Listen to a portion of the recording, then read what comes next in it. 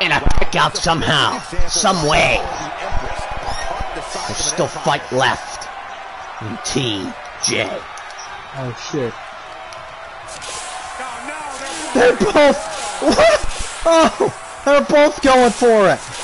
The hell's going on? Oh my god.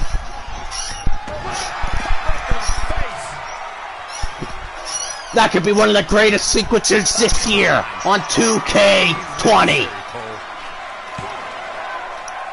Ah! What a sequence! Good God Almighty! Oh.